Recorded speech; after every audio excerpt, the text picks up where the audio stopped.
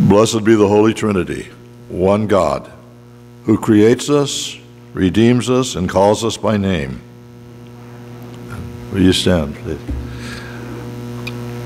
Let us confess our sins in the presence of God and in one another. Me for all that I've done and all that I've left undone. Most merciful God, we confess that we have sinned against you and your beloved children. We have turned our faces away from your glory when it did not appear as we expected. We have rejected your word when it made us comfortable ourselves. We have failed to show hospitality to those you called us to welcome. Accept our repentance for the things we have done and the things we have left undone. For the sake of Jesus Christ, have mercy on us, forgive us, and lead us, that we may bathe in the glory of your Son, born among us, and reflect your love for all creation. Amen. Rejoice in this good news. In Christ Jesus, our sins are forgiven.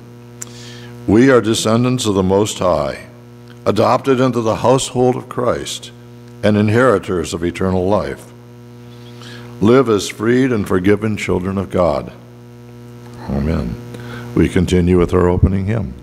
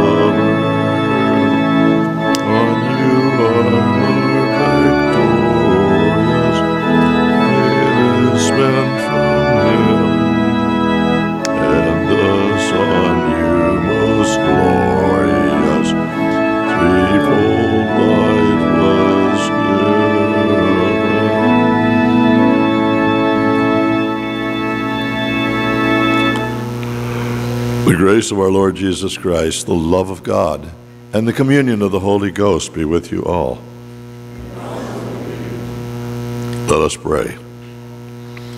Almighty God, you anointed Jesus at his baptism with the Holy Spirit and revealed him as your beloved Son. Keep all who are born of water and the Spirit faithful in your service that we may rejoice to be called children of God through Jesus Christ, our Savior and Lord, who lives and reigns with you and the Holy Spirit, one God, now and forever. Amen. Please be seated as we continue with the lessons.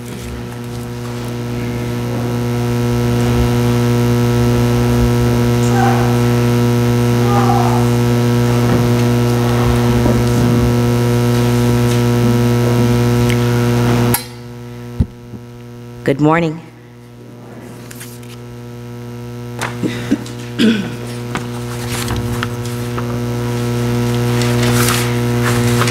Near the end of Jerusalem's exile in Babylon, God promises to bring the people home.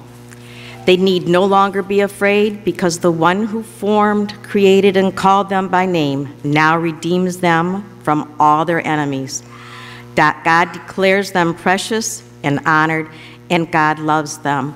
The first reading is from Isaiah chapter 43, verses 1 through 7. But now, thus says the Lord He who created you, O Jacob, he who formed you, O Israel, do not fear for I have redeemed you. I have called you by name. You are mine. When you pass through the waters, I will be with you, and through the rivers, they shall not overwhelm you. When you walk through fire, you shall not be burned, and the flame shall not consume you.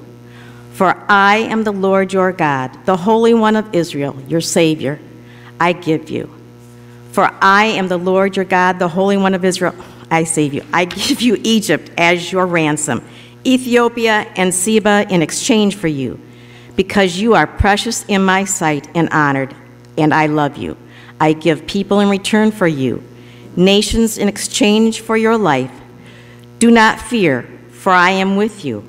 I will bring your offspring from the east, and from the west I will gather you. I will say to the north, Give them up, and to the south, Do not withhold. Bring my sons from far away and my daughters from the end of the earth. Everyone who is called by my name, whom I created for my glory, whom I formed and made. The psalm is Psalm 29, and we will read that responsively. ascribe to the Lord, you gods, ascribe to the Lord glory and strength.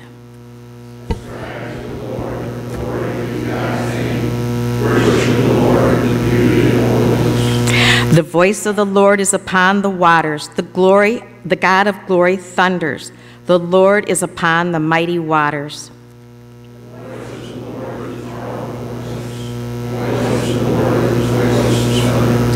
The voice of the Lord breaks the cedar trees. The Lord breaks the cedars of Lebanon.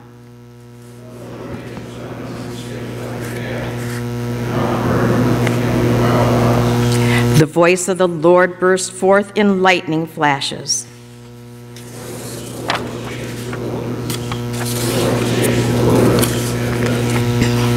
The voice of the Lord makes the oak trees writhe and strips the forests bare.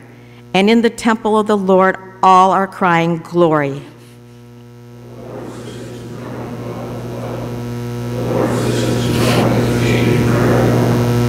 O Lord, give strength to your people.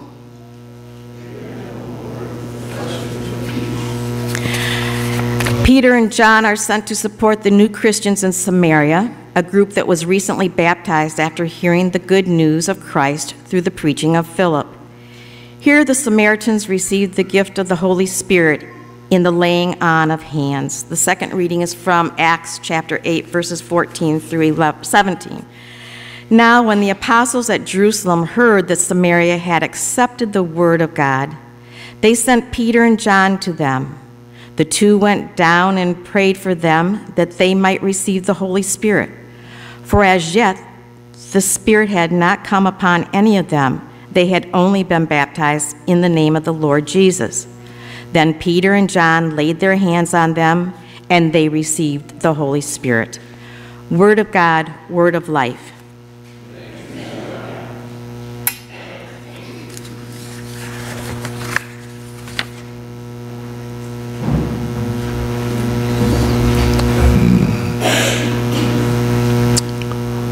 Holy Gospel according to St. Luke, the third chapter, beginning at the 15th verse. Glory to you, O Lord. As the people were filled with expectation, and all were questioning in their hearts concerning John, whether he might be the Messiah, John answered all of them by saying, I baptize you with water, but one who is more powerful than I is coming I am not worthy to untie the thong of his sandals. He will baptize you with the Holy Spirit and with fire. His winnowing fork is in his hand to clear his threshing floor and to gather the wheat into his granary. But the chaff he will burn with unquenchable fire. Now, when all the people were baptized, and when Jesus also had been baptized and was praying, the heaven was opened, and the Holy Spirit descended upon him in bodily form like a dove. And a voice came from heaven You are my Son, the beloved. With you I am well pleased. The Gospel of the Lord. Praise to you, O Christ. Please be seated.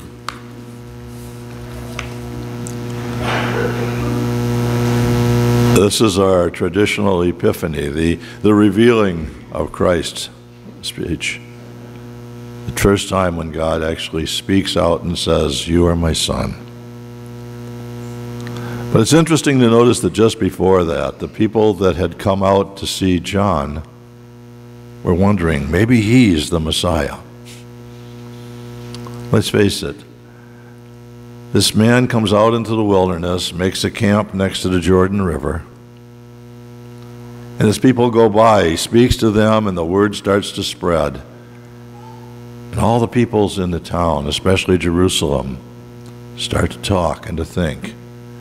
Here's a man talking about a God that says that the little guy, the guy that is used by the rich and powerful to help build the temple and build the buildings and the roads, the disposable people, they're important to this God. This man says this God loves them. And all the women and the children who are usually disregarded as not important, God loves them. He wants them. And even the Roman soldiers, who are universally hated by everybody, is loved by this God. And some so they come to see this John, and they come and say, Wow, I like the God you talk about. You must be our Messiah, right? I mean, let's face it. He looks like the kind of person you'd want a Messiah to be. I, I always see John. Okay, how many of you has actually seen one of the Harry Potter movies. Okay, sure, me too. And my daughter was a Harry Potter junkie. And you know the groundskeeper, that huge guy with the beard and the furry coat? In my mind, forever and ever, that's going to be John the Baptist. So imagine this huge guy with this powerful, commanding voice promising people God's love. Yeah, that sounds like my kind of Messiah. He's going to lead us right into Jerusalem. And then the Pharisees and Sadducees come out to see what's going on here. And instead of being frightened, John stands up to him and runs them off. Yeah, that's the way I want to see a Messiah. And John says, No, I'm sorry, but I'm not, that's not my job. I'm the messenger. I tell you about the coming Messiah. That guy over there, he's the Messiah. And they look, and here's Jesus. Skinny little rabbi, soft spoken, smiling, friendly, kind. He's the one that's going to run off the Romans? I don't know about that. He's the one that's going to purge the temple? you sure you got this right, John? And then God finally steps into the act and gives his opinion. Only it's not an opinion at all, it's a statement. This is my son. I'm pleased with him. Listen to him. Okay. Final judgment. God says this is the Messiah. And the question was resolved, mostly. Do you know that today there are still a few cults, oddly enough, in northern France and southern England that still are debating that maybe it was John who was the Messiah? But for the rest of us, I think that issue has been resolved. But that doesn't mean in our hearts and our actions that there are still issues in the church of mistaken identities. And I think those identities deal with the Messiah as well, but on a personal basis, not on a basis of looking at John anymore.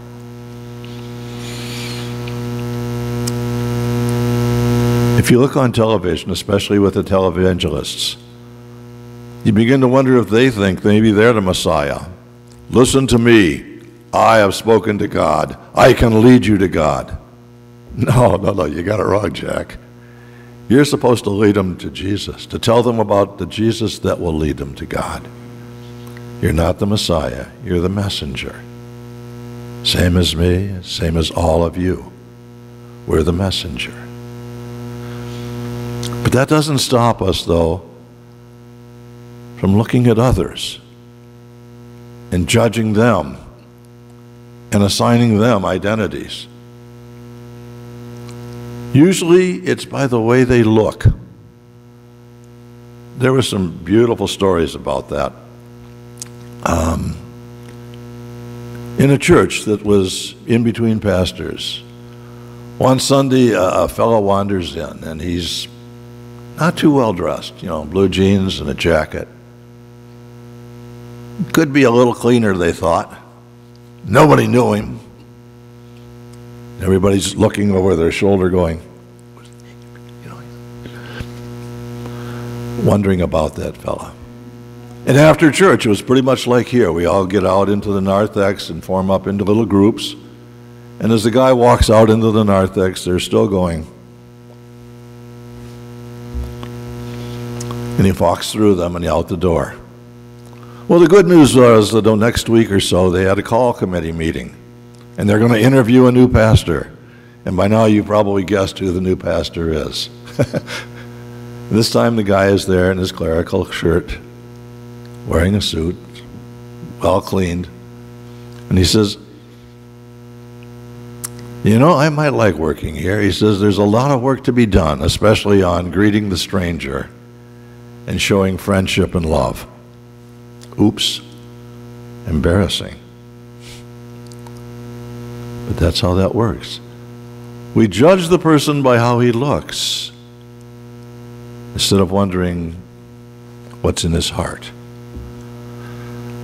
I've seen the opposite too. I talked to somebody once and he says, I don't really feel interested in coming to your church.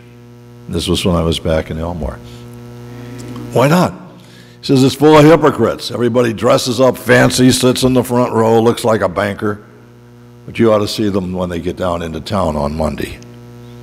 Bunch of hypocrites. What do I want to come there and sit with them? And it occurred to me, I said, well, isn't that what church is for? For the hypocrites. For the people to realize their sins.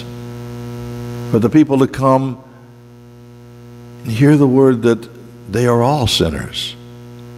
He says, and doesn't that also make you a hypocrite? Because you've come to judge these people and think you're better than them, and yet you don't even go to church. Think about that. Hmm. Again, judging by how they look, not my kind of people. I'll go someplace else. Finally, in the terms of how people look, I, I have a young man that I've been encouraging to uh, join the SAM program because I think he could do a great job. Uh, if he's watching this on the internet this week, he'll probably be embarrassed by this, but still, he's got a great faith. But he's got kind of longish hair and tattoos,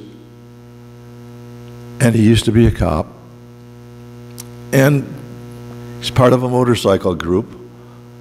And yet, you know, that biker group rides all over this, uh, this county and the state collecting funds and food for the poor and the needy, doing good things, and he's their chaplain. And I think this man could reach out, especially to a special kind of group, but I wonder if he would ever be accepted in a respectable church simply because of the way he looks, not because of what's in his heart. You see, we tend to try to play the Messiah and judge people by what we see. And I wish sometimes that the heavens would open and God would say, He's not that bad.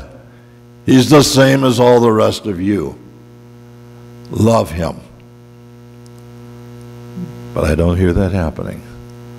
And so the problem goes on with our mistaken identity for these people. Sometimes also we try to judge people by the way they act. and the same problem occurs. In fact, I know of a banker that was, he was kind of like the hero of the town.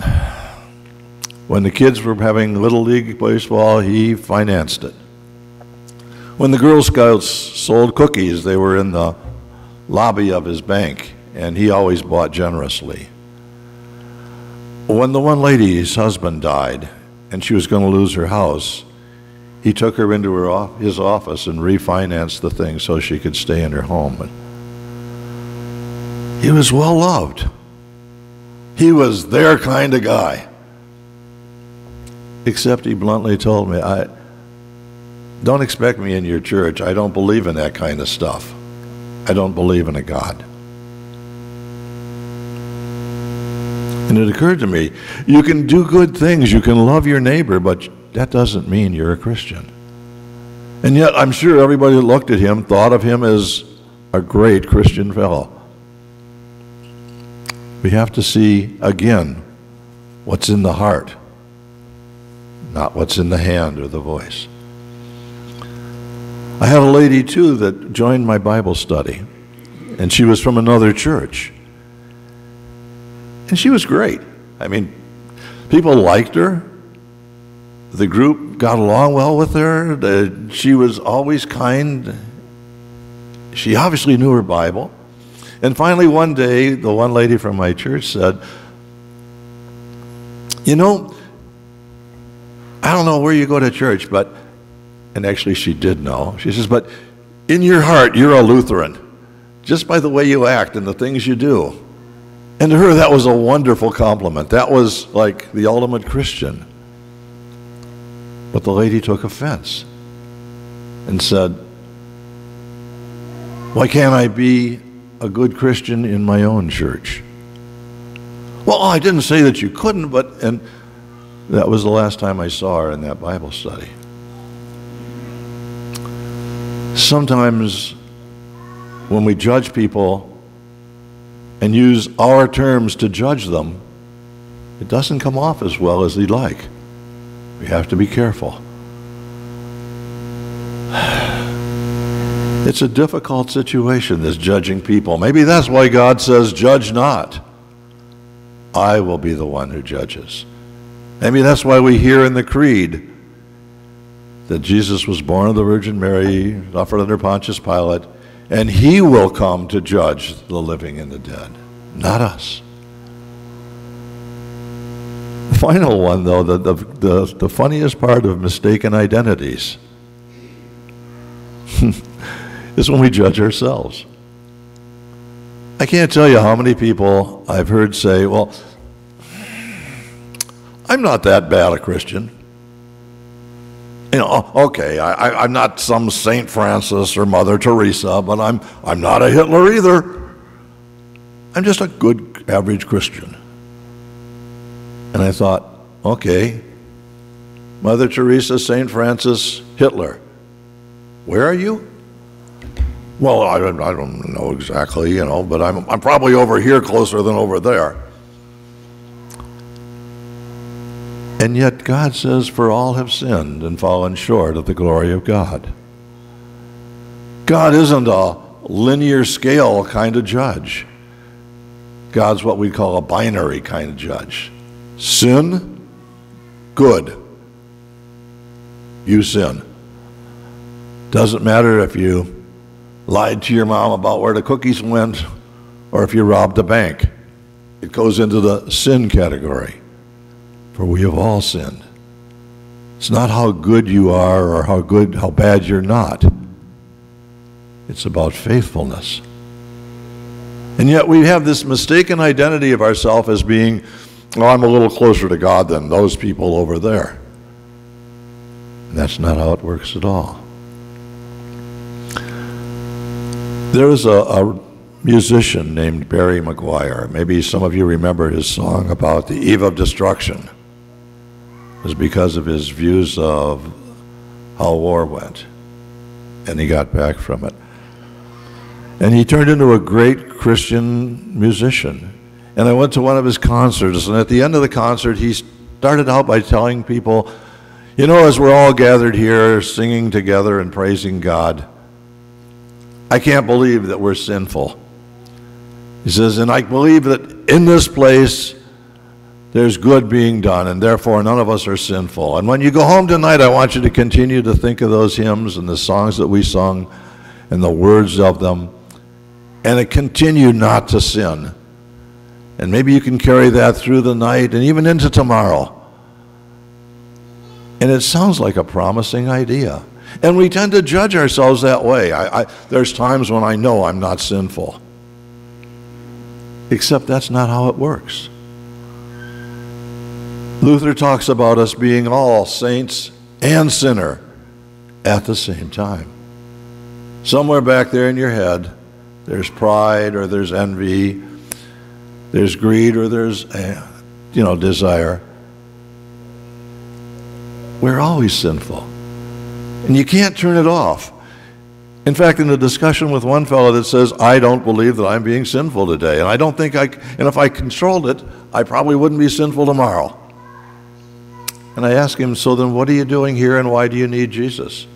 Because Jesus' primary job is to save you from your sin. Well, I didn't say I was never sinful. But today and tomorrow you're telling me you don't need Jesus. And to me, something about that sounds wrong.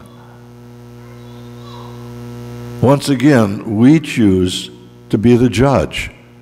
We choose to be our own kind of Messiah, to be the one who says, good, evil. And oddly enough, we usually come up on the side of good.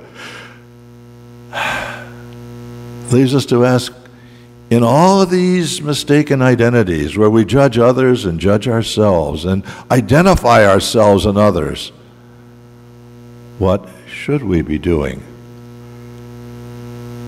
And the answer is simple. If we're all sinful beings and we are all the children of God, look at that first lesson that you heard. Listen to a God that says, I created you in a beautiful form. I claim you and I will bring you back to me. And if God can love us that way, then listen to Jesus' words that says, And you shall love God with all your heart and your neighbor as yourself. Instead of judging, we need to come to God and say, I love these people. Yeah, he's an alcoholic. She's a gossip. Back there, they are cheats and liars. And up here, is a guy in a robe that's a hypocrite. But we're all children of God. And if God can love us over all that's sin, shouldn't we be doing the very same thing to each other? That's the message here. Instead of having mistaken identities for ourselves and others, let's use the identity that God gives us child of God. Let's modify it to say, beloved child of God. Let's make it really cool by adding, beloved, forgiven child of God. And see each other in that light.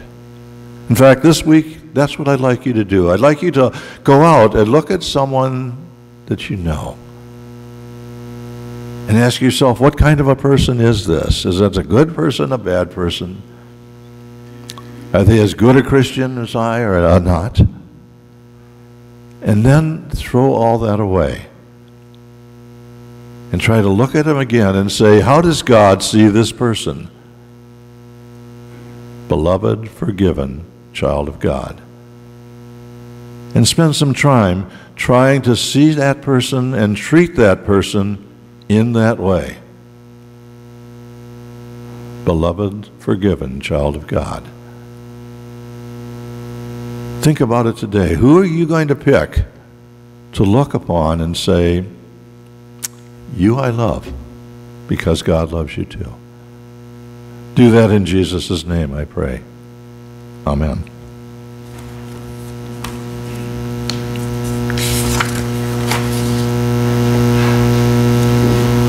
We continue with the hymn.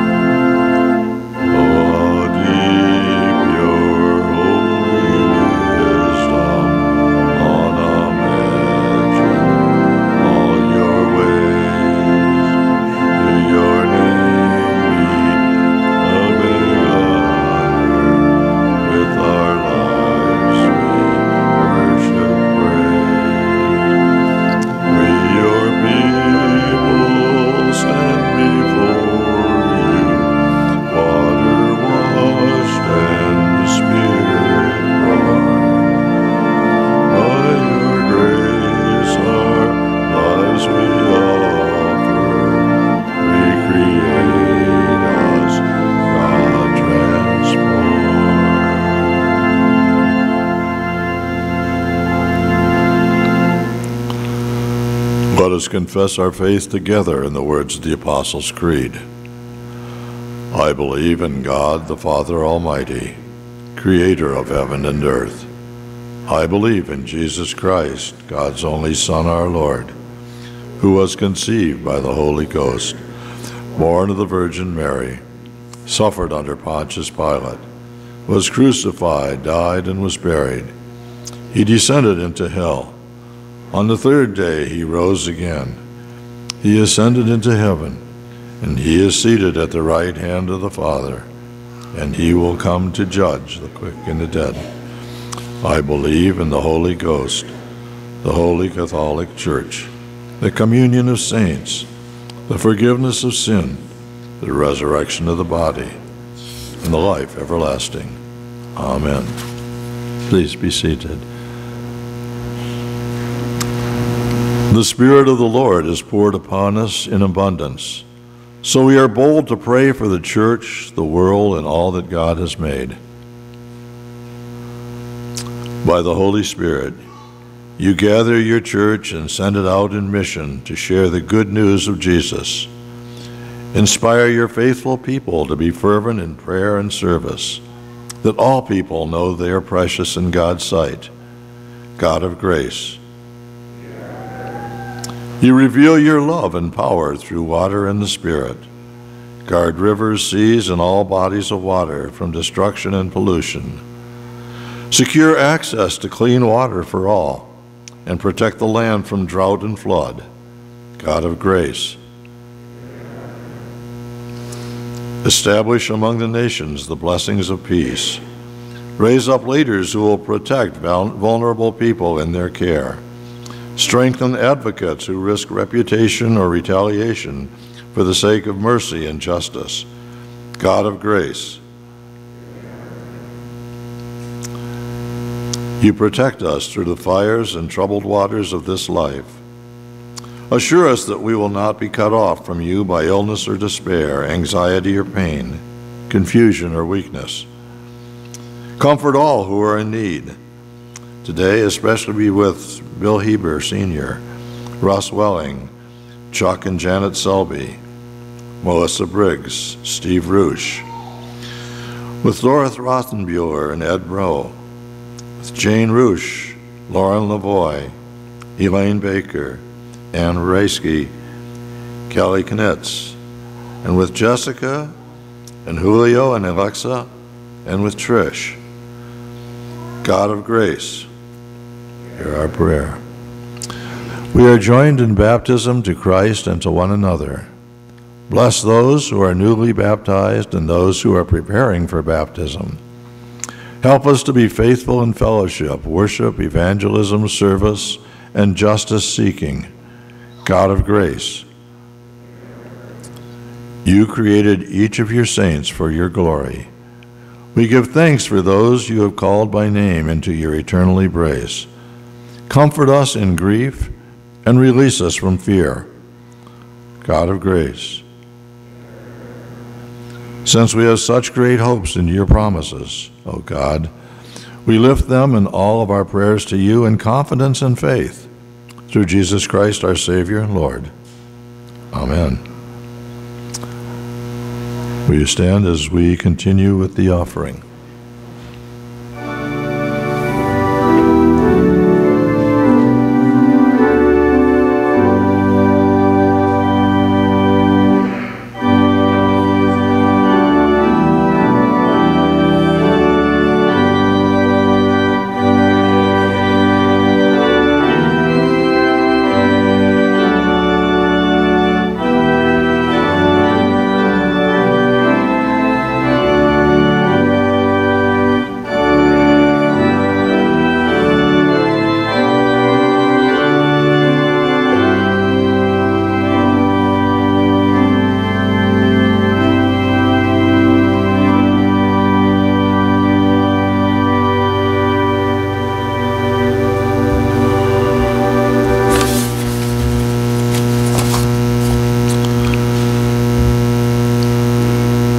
Blessed are you, O God, sovereign of the universe.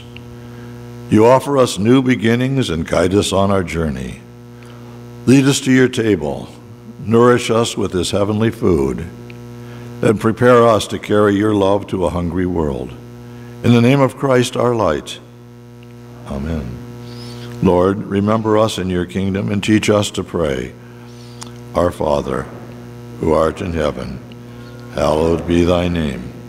Thy kingdom come, thy will be done, on earth as it is in heaven. Give us this day our daily bread, and forgive us our trespasses, as we forgive those who trespass against us. And lead us not into temptation, but deliver us from evil. For thine is the kingdom, and the power, and the glory, forever and ever. Amen. May God, who leads you in pathways of righteousness, who rejoices over you, and who calls you by name, bless your going out and your coming in, today and forever. Amen. We continue with our sending hymn.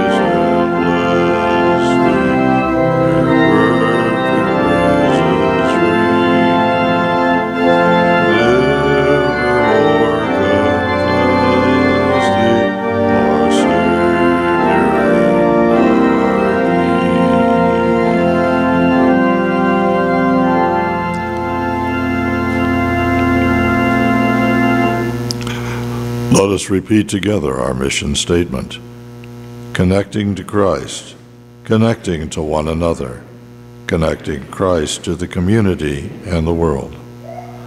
Then go in peace and serve the Lord. Thanks Be to God. Amen.